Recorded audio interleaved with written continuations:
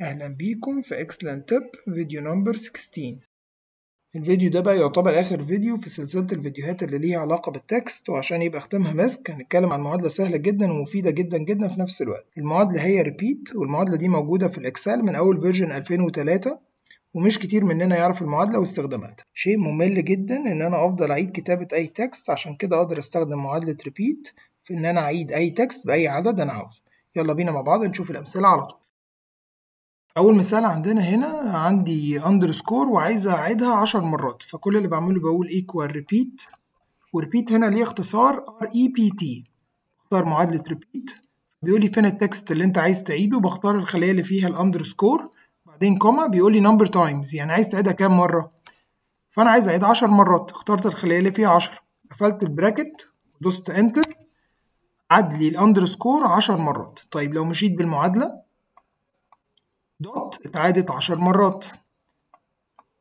ات اتعادت عشر مرات. asterisk اتعادت عشر مرات. hyphen اتعادت عشر مرات. exclamation mark عشر مرات. وال tilde كمان عشر مرات. طب اسم زي ذكي هعيد كل حرف لوحده ولا الاسم على بعضه؟ يلا نشوف مع بعض. عاد كل اسم لوحده اتعاد عشر مرات.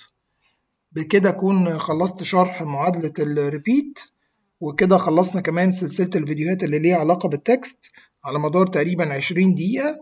اتكلمنا مع بعض فيهم على 17 معادلة اتعملوا على 8 فيديوهات.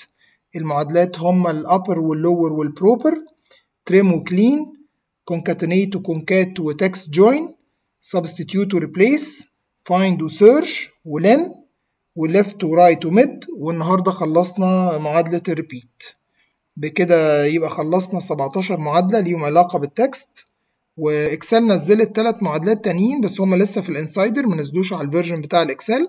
هم الثلاث معادلات اللي هم text split و text before و text after ودول هنشرحهم أول ما ينزلوا على ال version اللي عندنا في ال Excel. طب إيه بقى الفيديوهات اللي جاية؟ خليها مفاجأة اللي هنتكلم فيها مع بعض إن شاء الله الفيديو اللي جاي ولحد ما نتقابل تاني أشوفكم على خير. جود باي